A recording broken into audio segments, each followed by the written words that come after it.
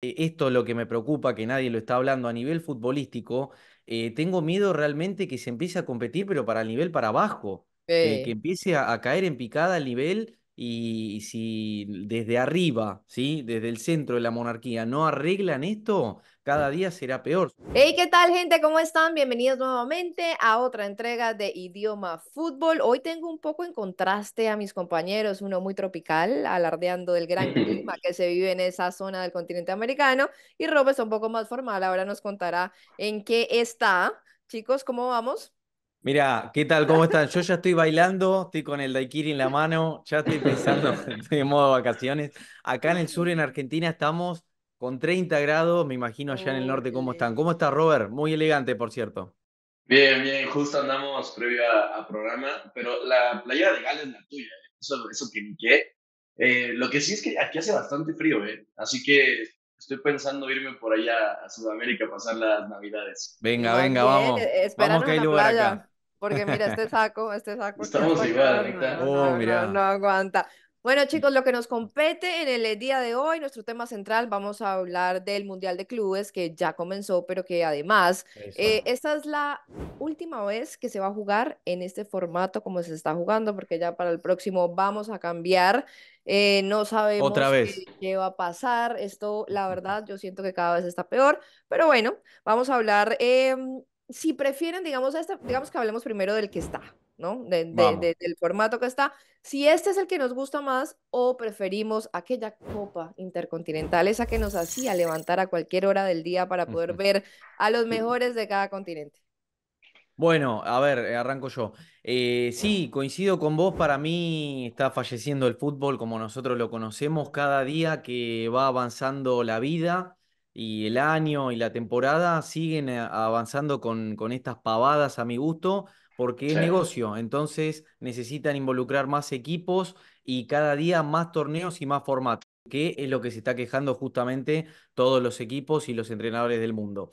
Ahora bien, la Intercontinental, como decís vos, era el formato tradicional el que más nos gustaba. Era América contra Europa, Europa contra América y grandísima batalla que ahora la vamos a estar repasando.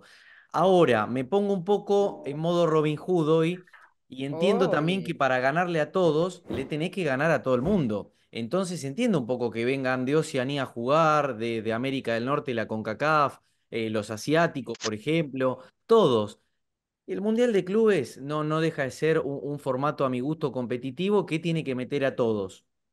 ¿Vos qué opinas, Robert? Nunca va a haber nada como la Intercontinental de los 60 a los 80 O sea, el fútbol que, del que nos enamoramos ya no existe. Pero sí creo que este nuevo formato le da también un toque interesante sobre todo porque va a haber varios equipos de cada continente que son top, que se van a, clasificar durante los años. Y a mí en lo personal me parece más cercano a un mundial.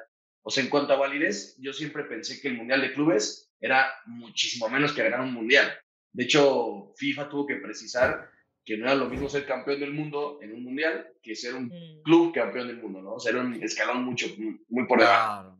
Oiga, no, ustedes están, no, pero ustedes están hoy muy, muy benévolos con, con, con, eso. Es decir, lo que yo le estoy entendiendo es que hay que enamorar, hay que aprender a enamorarse de una forma diferente de lo que nos va a, a dar eh, la FIFA de ahora en adelante. No, a ver, no, no sé si enamorarse, no sé si enamorarse la palabra, lo que sí hay que hacer es acostumbrarnos, porque como les digo, empezó a cambiar todo. Fíjense que va a haber mundial nuevo de equipos, o sea, de países de equipos también en el formato. Es más, otra cosa planteo acá. El formato nuevo que va a venir en el 2025, seguramente va a haber algunos equipos, sobre todo en esta parte, que eh, a lo mejor ni siquiera ganen la Copa Libertadores o Sudamericana. Entonces también va a perder más prestigio. E equipos de Serbia, de Montenegro. A ver, les, les cuento cómo será el, formato 2025 rápido. A ver, vamos. 32 clubes, 8 grupos, 4 equipos. Eh, después se jugarán octavos y partidos pues, de eliminación directa. 12 clubes de UEFA, 6 de Conmebol, 4 clubes de CONCACAF, 4 clubes de, Asia, de África 4, de Oceanía 1 y el país anfitrión. Entonces, esto quiere decir que también, como les decía ahorita, van a entrar eh, equipos de Serbia, de Montenegro, de unas ligas también pues que supuestamente el modo de clasificación es lo que decía Eric, campeones de Copa Libertadores de las últimas tres ediciones, 20, 21, 22 y 23, creo que son de las últimas cuatro. Eh, campeones de Libertadores también. Y de esta forma, digamos que se van clasificando. Pero entonces ahora esos equipos, ¿qué tipo de medición van a tener? O sea, ¿qué tipo de filtro para saber que son los mejores de cada continente? Exacto, ese es el problema y tendrían que tener un mérito o un premio llegar a jugar al Mundial de Clubes, por lo menos a mi gusto. Creo que también ahí para destacar y agregar, se va a jugar también una especie de intercontinental en el 2025 y digo, se puede llegar a jugar porque no tenemos todavía idea qué es lo que va a pasar. Yo, yo solo voy a decir una cosa para que entremos a hablar de, de, de lo que nos gustamos ahorita, que es la historia, y es más equipos, más plata, más tiempo de torneo, menos calidad. Bueno, eh, está todavía por verse si se va a hacer o no. Eh, como que le dio miedo y le entró con todos los nuevos formatos, ¿no? como que copió un poco el estilo y ahora se va a quedar con todo el pastel y además con el nuevo formato. Yo creo que para mí, si este Mundial de Clubes sale mal, el Super Mundial, que se agarre la FIFA porque de alguna u otra manera los clubes se van a revelar, van a querer una parte importante del pastel. El mundial también falla, en las elecciones me refiero, va a cambiar como nunca hemos visto. Es que además incluso para los grandes equipos es un desgaste de sus jugadores porque por una copa que no vale nada, una copa en que participa todo el mundo, ¿por qué van a jugar los, los, los jugadores top este tipo de torneos? No van a ir no, además, cada vez más partidos. Que, que, jueguen fecha FIFA, se lesionen eh, jugando contra Antigua y Barbuda y después no pueda competir con su club que se propone la lana. Eh, tienen ese miedo de que, de que se pierda el prestigio, porque 32 equipos, ¿no? Que van los mm. mejores de cada continente, los que hicieron una buena eliminatoria, llegan y compiten entre todos para ver quién es el mejor.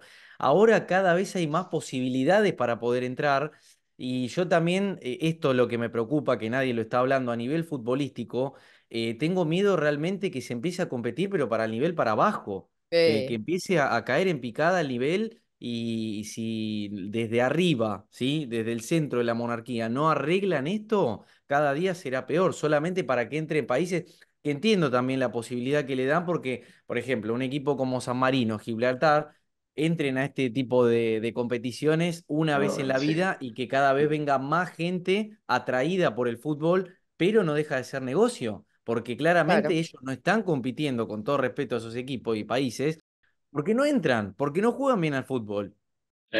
No, el negocio va a ser, o sea, de que va a ser negocio para los involucrados, no tengo dudas. Em, no sé, yo creo que está sacrificando justo lo que dicen ustedes dos, nivel por dinero, y eso es un retroceso muy, muy grande.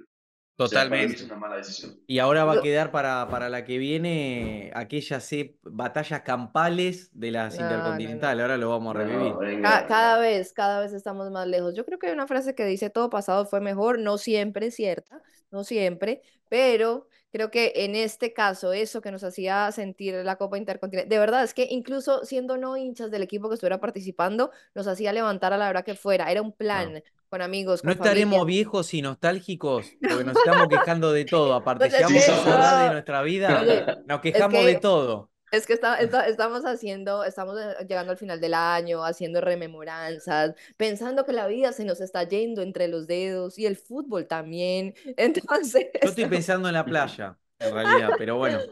Bueno, no, lo cierto es que... ¿Qué suerte tienen algunos? Sí. sí, no, yo sí lo estoy pensando en estos momentos. Pero bueno, lo cierto es que ya no hay esa Copa Intercontinental, hay Mundial de Clubes y va a cambiar para 2025. Pero estaremos hablando un poquito de, de, de los equipos también que fueron históricos, esos que nos hicieron soñar con ese fútbol lindo y espectacular en los distintos continentes. Y eso lo hablaremos en el segundo segmento aquí en Idioma Fútbol, así que no se desconecten. Ya volvemos.